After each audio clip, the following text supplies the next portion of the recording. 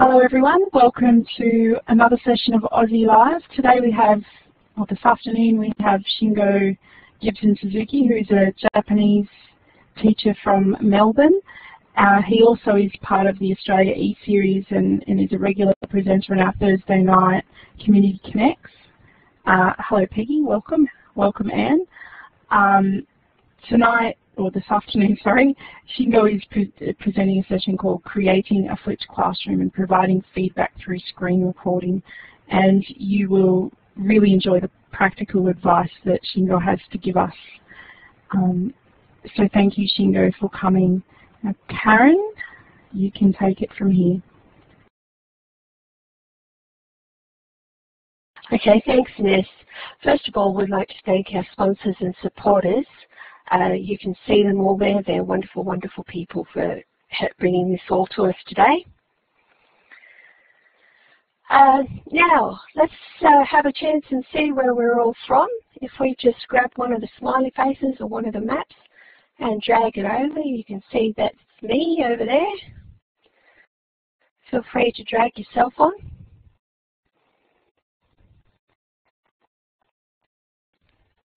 You might find if you're on an iPad that uh, it won't go across, but some do, some don't.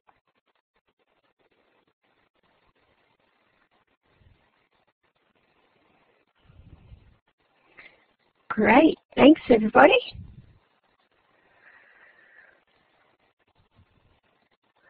All right, so handing it over to you. Thanks, Shingo. Okay, thank you. Um, well, good or good afternoon or good morning or good evening, uh, wherever you are, um, might be listening to this recording. Um, my name is Shingo Gibson Suzuki, and um, as I got introduction uh, from this, I'm a Japanese teacher in Taylors Lake Secondary College, which is in the western suburb of Melbourne. And I'm also um, an e-learning um, coach at the school, and um, and I'll also run a Thursday sessions on um, the Community Connect on Thursday night from 8 o'clock. So if you are interested in um, getting more, I guess, ICT tool advice, then come along and join us every Thursday night.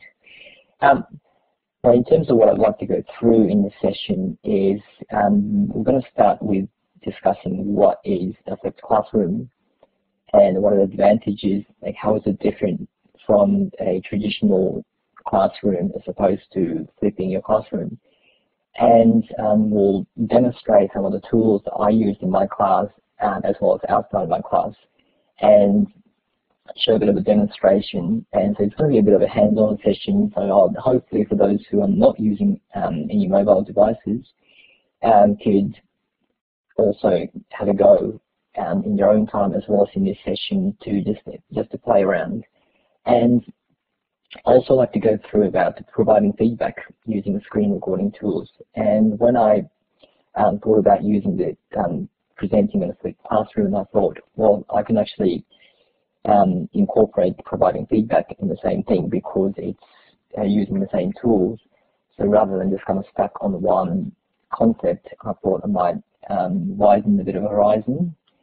And um, so I'll go through a bit of a demonstration session but before we start, what I would just want to do is you can either chat, and I'll put in the chat uh, window, or you can um, say what it is that you might be doing in your own time. So um, if I could get people to just write in a chat box your educational background, and so I can have a bit of idea of what everyone's background is. And I know um, a few people in here, so if I could just um, quickly write down what your educational background is.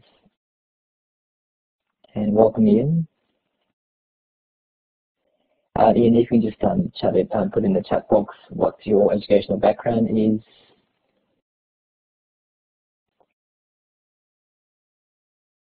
And because obviously I'm going to be talking from the point of view of a Japanese teacher in a classroom, and I'll try to facilitate everyone in terms of um, if you're a certain subject teacher, and might be able to give you some bit, bit of advice as to what you can actually do um, when it comes to flipping your classroom. Um, and a good thing about flip, um, flipping classroom is that it can be used in any setting, so from primary school to secondary school to tertiary. Okay.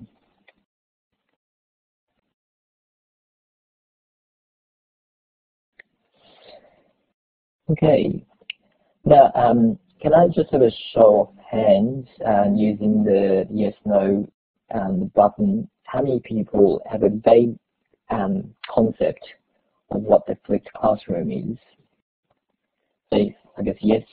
Um, Penny, would you like to say something or is it a um, hands up? Just drop the mic. Shingo.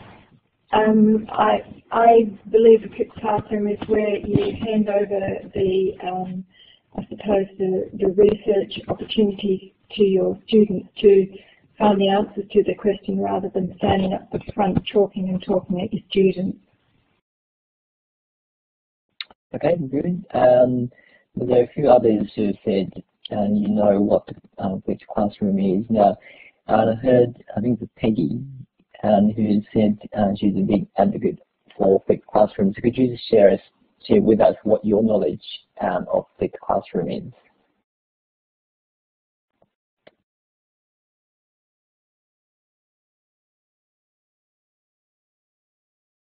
Maybe she's typing, or are you able to talk on the mic, Peggy?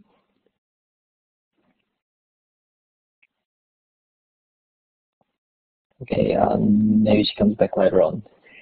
Um, okay, so let's just go through a bit of a very, very brief explanation um, of what flipped classroom is. So basically to flip your classroom generally means to deliver new content to your students outside of your normal class time through video tutorials. So that is very, very easy. And also the class time can be used for further clarification and discussion. So um, for example, you might be um, teaching uh, a language and it can be for um, particular grammar structures you want to be teaching to your class. However, it might actually be taking a lot longer um, in the actual physical classroom. So you might be recording your instructions or explanations and you get the students to watch that particular video. And um, in a classroom, you might be using as a, an actual practical application of the knowledge that students may have acquired from the video. So in terms of flipped classroom versus traditional, in terms of traditional, let's have a look at traditional classroom. So in classroom, um, instruction happens and teachers at the front, they just go through and they explain certain things. So for example, with the, the maths and or science, they go through the step-by-step -step approach on how to do certain things. It could be experiment, it could be a formula, and with my language class, it might be to do with how to put the sentence structure together, how you form a sentence. Um, and then they go home and they apply their knowledge and understanding at home, which is the homework. Um, now, the, I guess not, not so much an issue, but the, the big hurdle we as teachers can face is that when the students don't have um, enough knowledge to take home and apply that, then they are unable to apply the knowledge, therefore the, the homework is not done or may have done in a very uh, incorrect way. And they come back and student asks questions and they have to um, fix things. So um, it can be, I guess, a longer process and to flip a classroom. Um, so in terms of the traditional ones, it's very, very, I guess, one way and when the students have any issues at home, um, conventionally it's not very possible to actually ask questions. So let's look at what the flipped classroom is. So basically it is flipping. The instructions happens outside of class. So instructions are delivered through a form video tutorial. And um, it can, the students can watch it in, in their own time and they watch it on, they watch it so many times um, until they understand the concept. And in class, they apply the knowledge and understanding. And as a result, it can enhance the discussion. So for example, in my class, um, I don't actually flip classroom um, every single lesson or every topic we do. Um, I do with my Year 12 um, Japanese class simply because there's so many grammar patterns that they need to get through. If I go, if I use my class time, then it is impossible to go through and for them to actually understand in the class. So what the what my students do in my class is that they apply what they have learned in uh, the practical manner. So it could be speaking, it could be writing, or it could be reading, or it could be listening. So that way, um, they already come to my class with the, the prior knowledge. Um, now, are there any questions so far in terms of um, flipped and traditional? So that was fairly um, easy to understand in terms of what the difference is. And give me a sort of uh, smiley face if you can. Okay, good. Now, so what are the advantages of flipped, flipped classroom? An advantage that I found in my class is that it is it offers the ability to differentiate so students can learn at their own pace. So it means that um, the, the slower students can actually take a lot longer and they watch over and over again. They might pause, they might go backwards, and they might just have to go to a certain and they play over and over again. Now this can also assist um, slower students and sit down with their parents. The parents can be involved in this um, learning process at home because a lot of the issues with the language teacher, um, someone uh, like say and Jan, um, I know Jan is a Japanese teacher, and the I guess the biggest issue with the Japanese class or any language class is that um, parents are somehow limited in terms of their ability to help. So that way, um, by flipping the classroom, by providing the instruction out of classroom, and the parents can actually be involved in the students' learning, which I think is an important part of students' learning. And also next one is the, the caters for different types of learners. Now with the video tutorial, it's audio, uh, you can see it visually, and when they come back, it, they can apply the knowledge in a kinesthetic way. Um, so it can cater for all different types. Whereas if you, uh, for example, Japanese teacher, then um, explaining in front of the class, it's all just words. Or it might be um, um, the audio as well, but once the audio has passed, then the students kind of go back to it. And the only way that they can clarify is ask questions.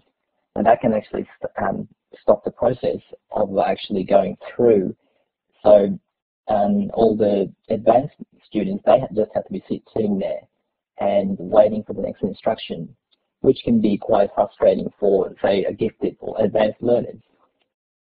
Um, the next one is the teacher in class becomes a guide rather than information provider.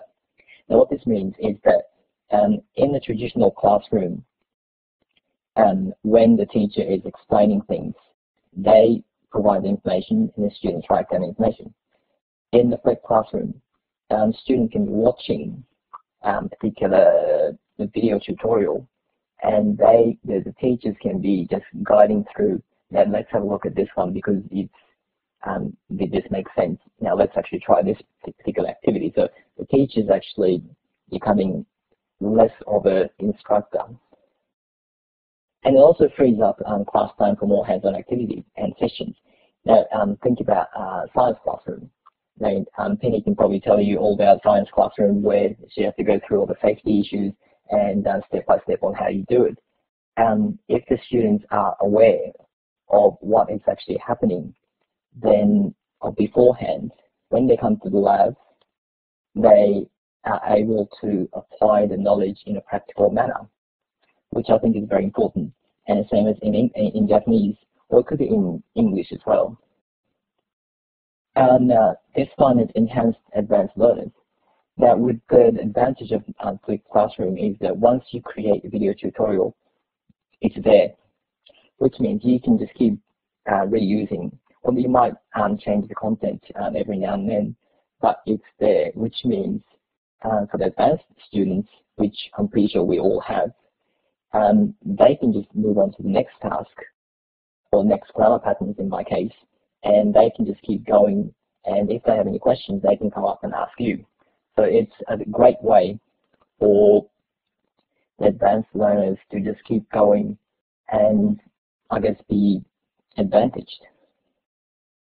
And also the less advanced learners can re-watch the video for clarification, which is great for, um, say, students who are struggling and they want to ask you the same question over and over again.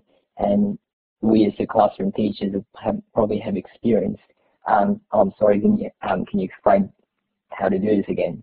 And often you have to sit down with that student and go through what is actually required to um, to complete the task. And what I have actually discovered last year when I started using the video tutorial is that for the students who've been away, or for the, for the students who didn't understand initial time, they can actually watch it again and then they'll come back to me if they have any issues. So that um, has become very, very easy. And I found the lesson that students are actually asking me questions because they just automatically refer back to the, the video tutorial. And in the, the age of digital age, um, it's very, very easy to share the video um, using the shared drive. Um, about five, ten years ago when we didn't really have the Dropbox or uh, Google Drive, we had to use USB. The USB can be um, very fiddly when it comes to that data transfer.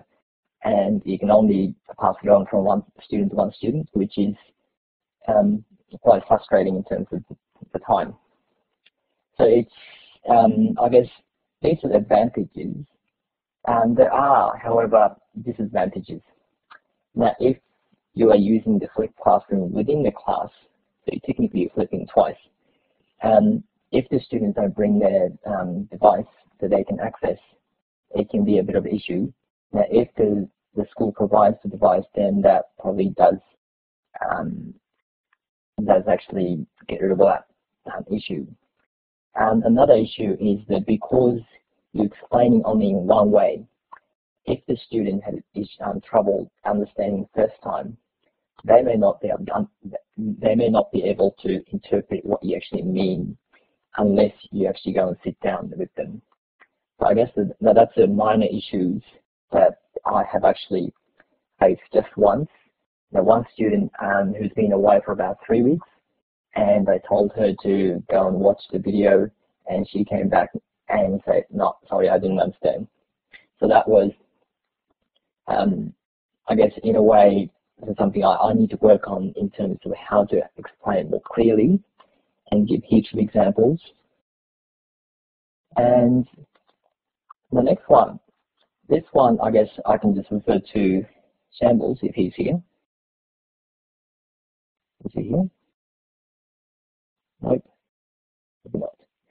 Um, the people watch. Yes, I, I am. I, oh, okay. So he's okay. No problem. Um, but people are so used to watching YouTube videos, and um, often they just go to um, YouTube video for instructions. So for example, it could be on how to tie a tie, or it could be how to clean certain things, or how to create something, or how to knit, or how to, um, God knows how many um, instruction videos there are. Perhaps um, examples can actually tell us what some of the bizarre instruction videos that he may have come across. Um, and also students can save the tutorial on their mobile devices. Now, um, we have um, Year 12 camp coming up next week, and they'll be missing a couple of lessons. Now, um, students came up to me and said, what do we have to do um, when we're away on camp? Um, I just said, well, just download all my video tutorial onto your mobile device or onto your um, phone, and you can take it with you. So that's, once again, is I'm giving them the instructions. That way when they come back, I'm not wasting um, their time, wasting my time, and just going through um, the actual application rather than explanation. And that another issue that you could have is that if the students aren't, um, I guess, motivated enough, they may not actually watch the video. But then I guess it comes out, comes back the same as um, those students who don't do their homework probably won't um, watch the video. So that, I guess those type of students, you'll probably need to um, negotiate with the parents just to make sure they are um, being supported. Um, the other one is, I guess, like I mentioned before, students can go back and forth um, from, say, the, the, point they have understood to the, the point they haven't understand, uh, they haven't understood. And the best of all, they can watch in their own time. And so it's kind of like a, a pressing the button and they're summoning the, um, the instant teacher.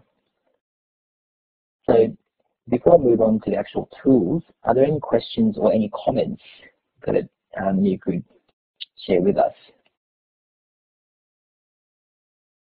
I haven't actually been paying attention to the chat box, so. Hi Shingo, there's been a lot of talk about the students creating their own videos and being able to use those as resources to help for explanations. Okay, um, I haven't actually got my students to create the videos yet, but I think that is quite important because for them to show their understanding um, by being able to create a video, um, I think it is important as well. So it's, I guess, not in the um, the peer-to-peer -peer mentoring, but um, that is something that I'm looking at doing, um, especially with advanced students. Um, any other comments?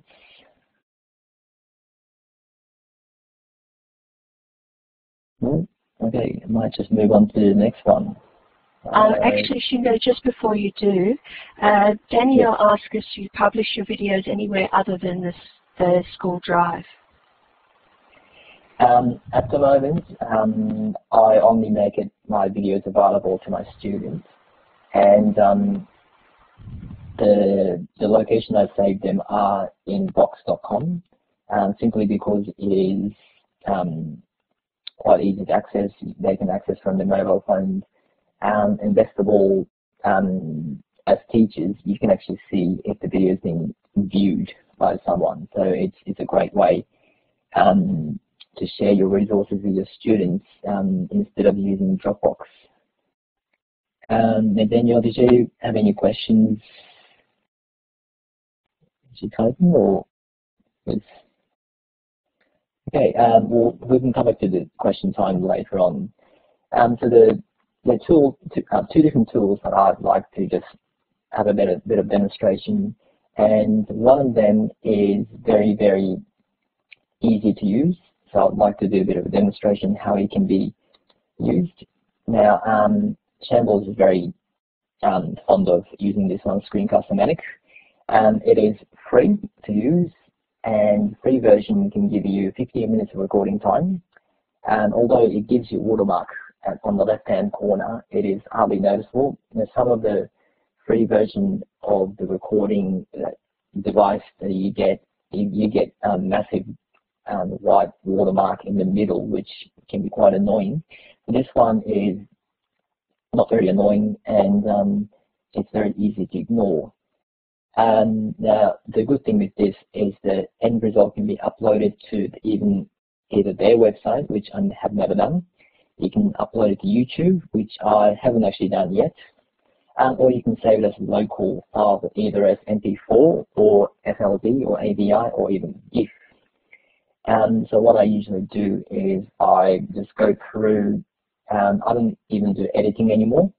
I used to put like a background music and fancy animations, but I found it taking too much of my time. Um, and then realized the students just wanted to have a bit of information, so I, I ditched the idea of um, using the fancy um, features. And so what it actually does is basically it allows you to select certain area and it gives you 15 minutes of recording time, which I don't actually recommend using up 15 minutes, especially if you're using this with say your 7, 8, 9 or definitely not primary school, um, because it, when the students see the length of video, if they see 5 minutes, 6 minutes, 8 minutes, they probably won't watch the whole thing. I generally keep it under 3 minutes um, three minutes is very, very short, and yet you can, you'll be surprised as to how much you can explain within three minutes um, time limit. So I usually keep it under three minutes, with my year seven class, I even keep it under um, a minute or minute and a half, just to take um, set, say everything that I need to say and just um, dump it on the, um, the public space the students can access. So that's um, Screencast-O-Matic, which I'll um, do a bit of a demonstration a bit later on. Um, the next one I use, now this is for uh, iPad and Android users, which is called Explain Everything. And I think it is about three Australian dollars. I'm not quite sure how much it is in um, any part of the world, but it's it's not it's certainly not expensive. Um, and if one of the moderators can just um, uh, just look it up on YouTube or on, on Google and just paste the, these URLs, that'd be great. And uh, with the Explain Everything, um, it is very, very simple to use, and yet it has so many potentials. Um, it allows you to access your Dropbox and your Box.com, your Evernote, your uh, local drive, and you can just display on the, the blank screen, and you can do um, certain things such as uh, just draw directly on it, or you can have a pointers and best of all you can do the recording. So I'll show you how you can use the explain everything to um, affect your classroom as well as providing feedback. So I'd like to go through a bit of demonstration of the Screencast-O-Matic.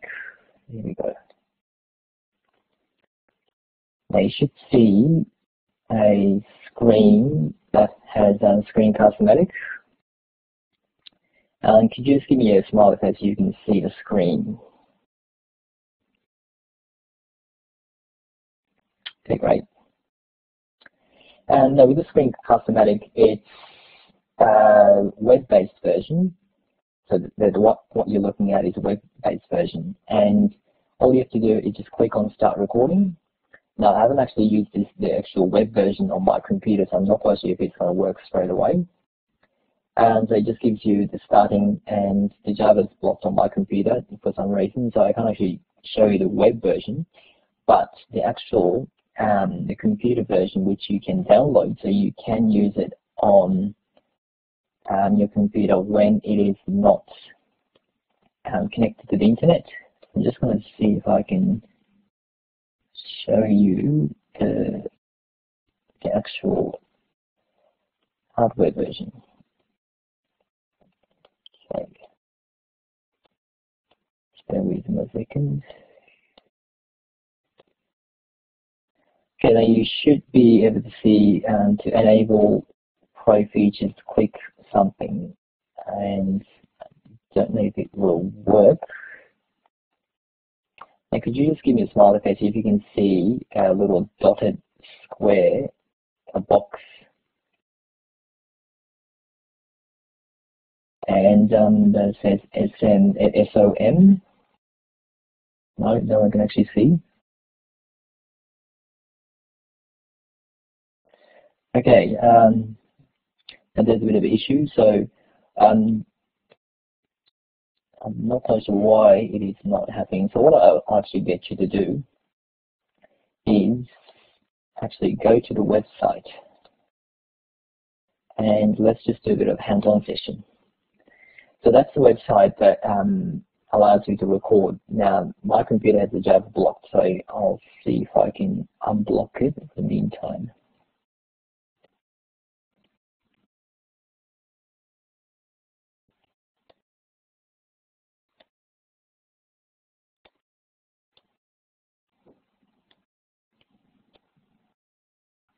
And let's see if this will work now.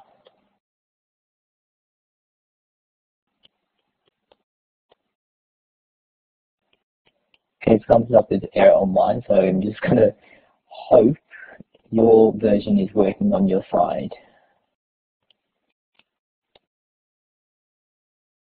Um, now when you go to the Screencast-O-Matic, it should have and start recording.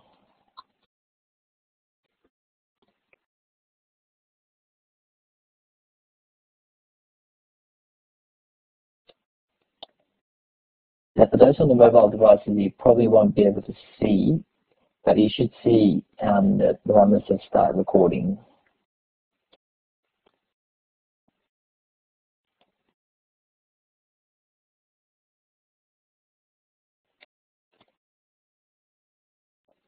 Actually, a good point, Danny. Maybe stopping me from using it simply because I'm using the Java on the Blackboard Collaborative. So um, I'll see if this worked last time. Yeah, um, it probably won't work on this. So um, bit of a change of plan then. Well, you can probably use it in your own time for that one. Um, so in terms of I'm just going to change something very quickly. Okay, I'll do something a bit different now. Just bear with me for a second.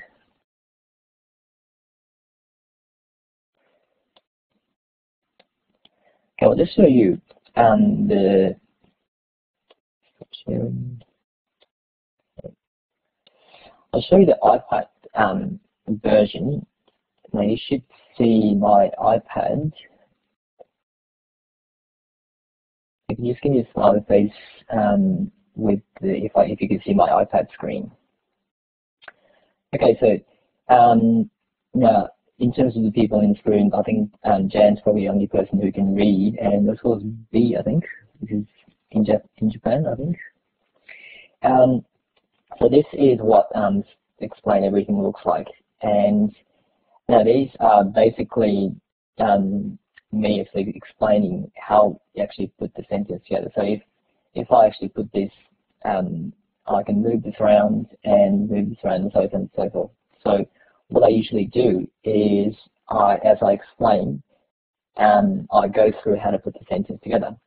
Now, if you have a look at this part, that's the recording part.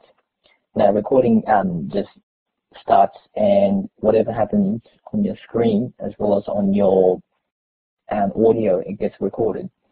So it's, it's a great way for you to um, create a flipped classroom because um, it's extremely simple to, set up. You can physically write with this, but unless you have a very, very good stylus, it's probably difficult to actually write. And now you can also have the little pointer now, for the for those who would like teach science or um, maths, you can probably up um, upload the actual worksheets, and then you might be able to go through. Now, for those who teach English, you might be able to upload um, the worksheet or some passage, and you might be able to go through um, how to interpret certain parts. Um, so it's it's a great um, tool. Now, I just want to go back and show you how this actually works. Now you can either go into your um, Box, SkyDrive, and Google Drive, and Evernote, Dropbox, iTunes, and your photo. Um, so you can pretty much select anything. Um, now for the moment, I'm just going to go back and open up a blank screen.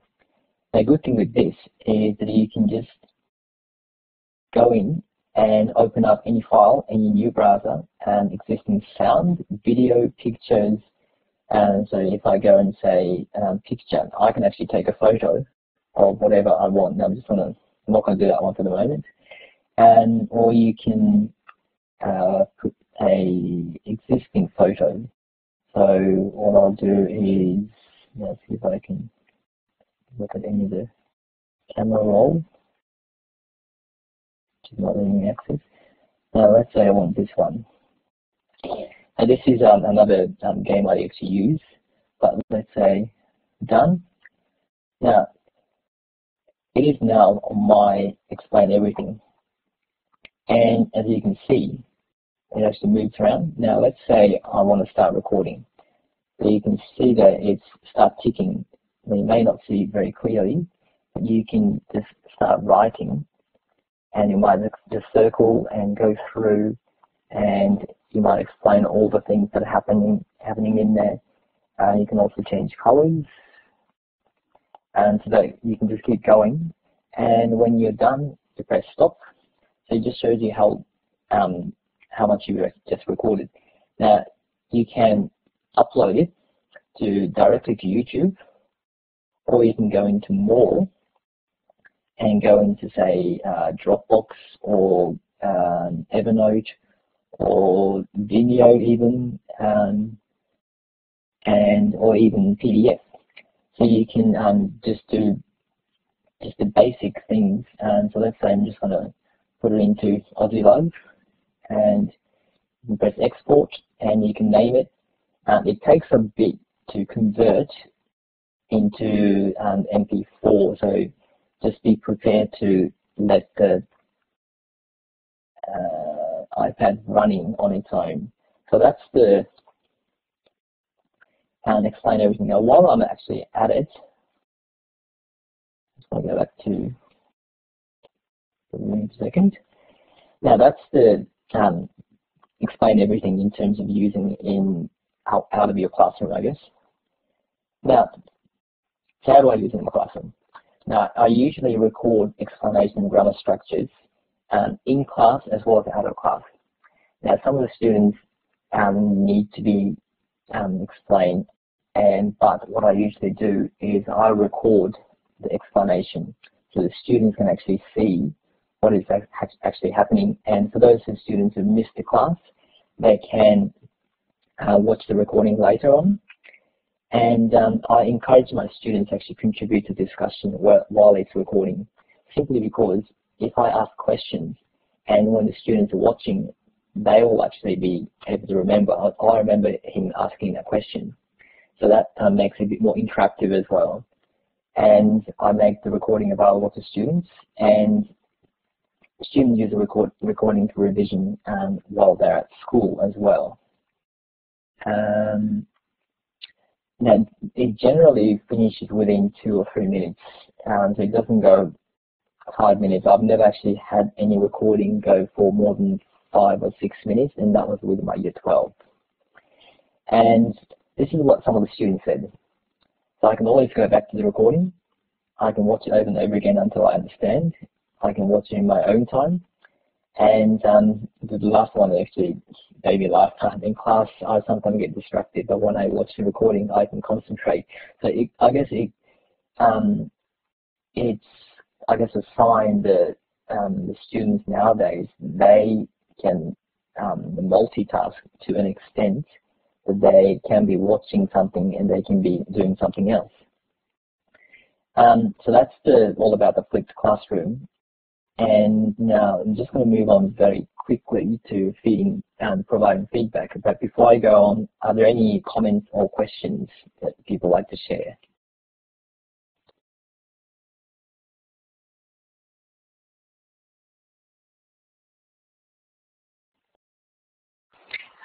Uh, Danielle's very kindly sent, uh, sharing the link with us for some of her recordings. It uh, looks like people, you have uh, understood your very clear explanation so far. Okay, uh, well Danielle actually uh, um, works with me in my same class, on uh, same school, and I want to actually hand it over to uh, Danielle as to how she uses to explain everything because she's um, very fond of using explain everything. So I'm just gonna, I don't know if she's got a microphone, but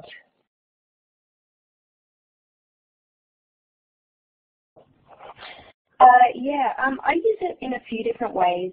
Um, I've used it as the handwriting practice, which I've kind of mentioned in the chat window there.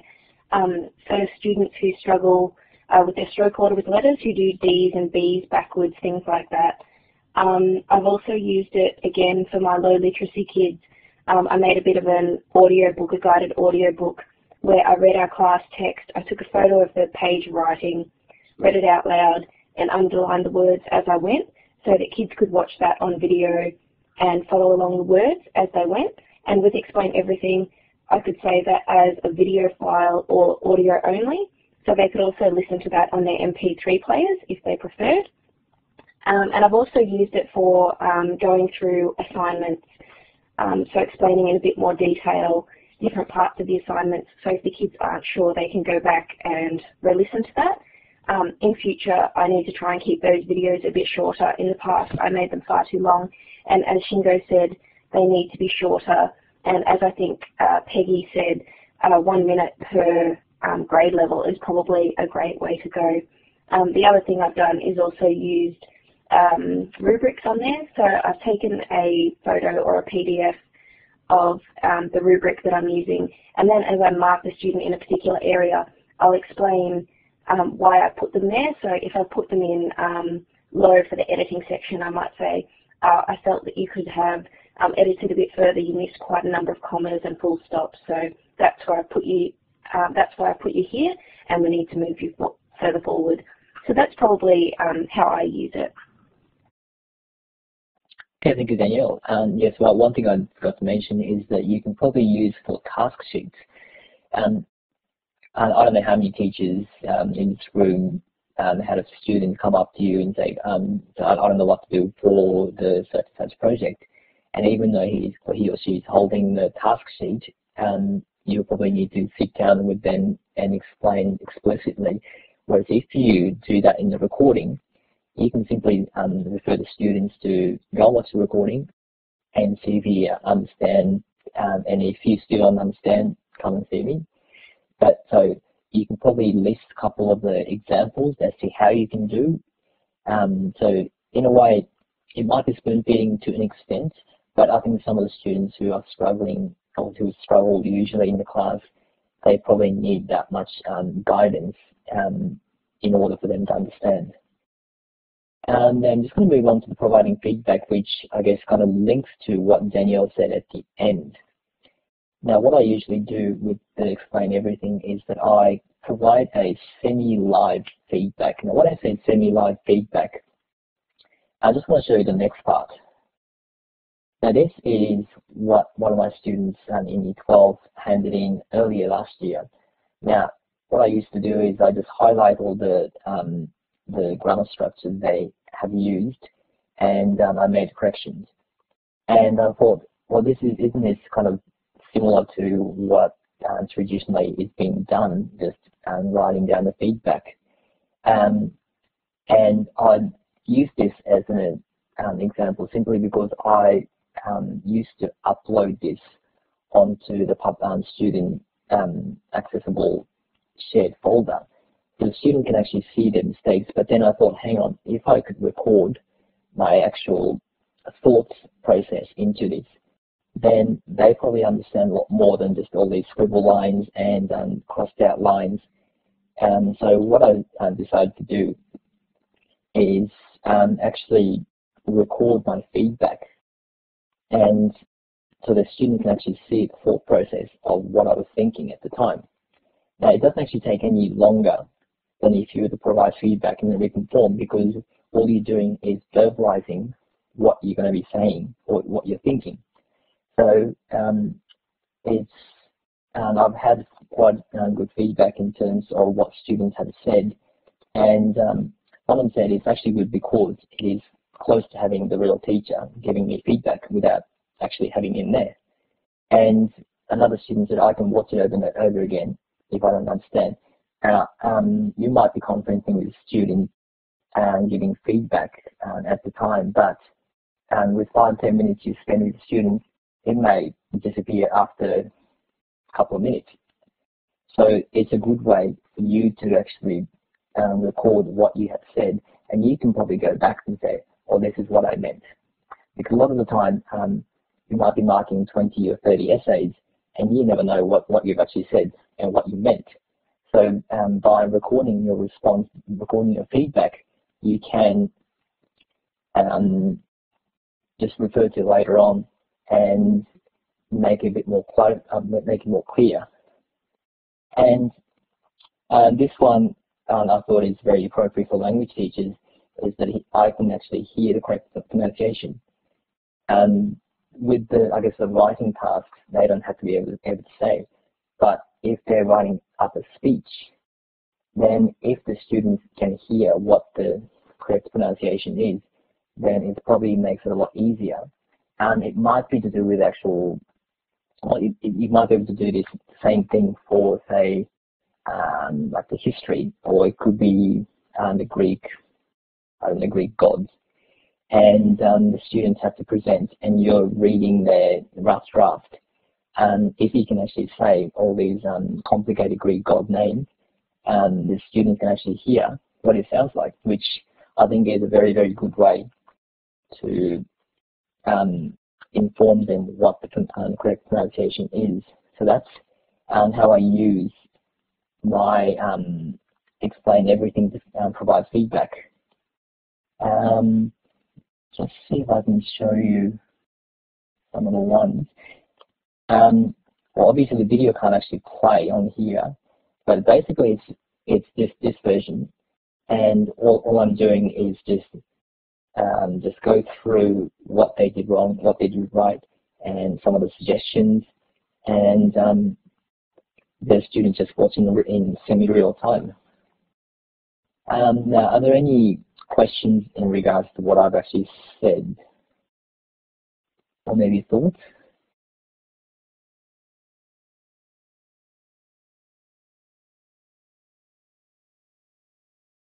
No? Um, but I, I, think in terms of the, the common things um, with all the 13 classroom or providing feedback using the screencast technology is that you can, uh, the students can learn at their own time, which I think is the most important part. And the fact that they are able to go back and forth until they understand what you're trying to say. Um, well, unless there are any questions, um, I might just hand it back to one of the moderators.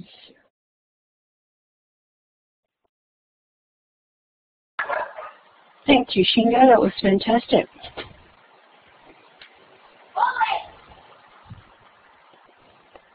Uh, there was a question there of, did you take a photo of student work on the iPad? Uh, now, what I did was um, I asked the student to take a photo, then send it to me. Um, this one, I think, was a scanned copy. And so this, some of the students, they, they don't like um, taking photos. So what I do is they, they give me um, just a hard copy and I do the scanning and I put it into the, the public shared folder for them to see. And um, the, the public shared folder I use is called um, box.com. And and um, the great thing with this is uh, I've got to put the the great thing with this is especially com. Try again.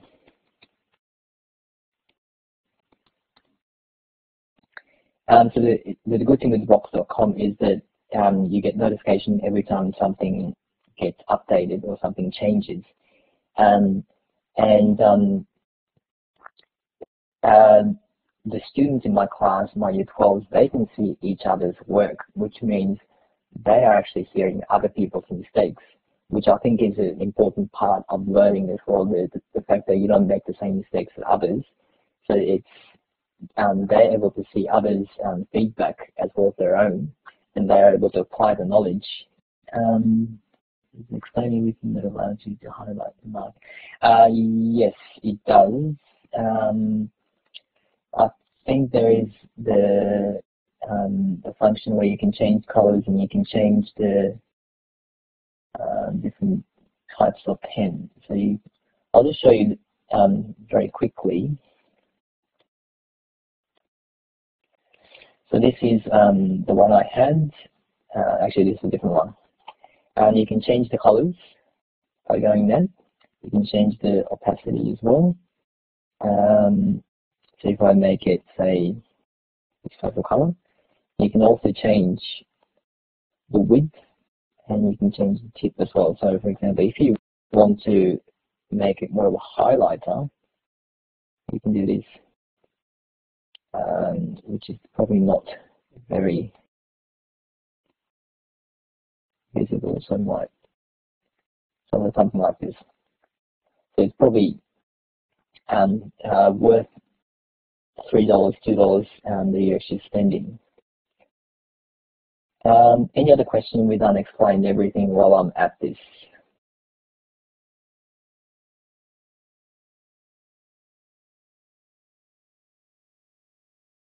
Nope.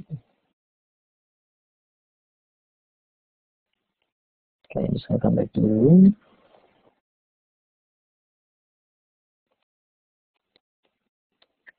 Um, now here's my contact detail if um, you need to contact me or if you'd like to be included in the email list that I run the, every Thursday night, uh, which is the Australian time.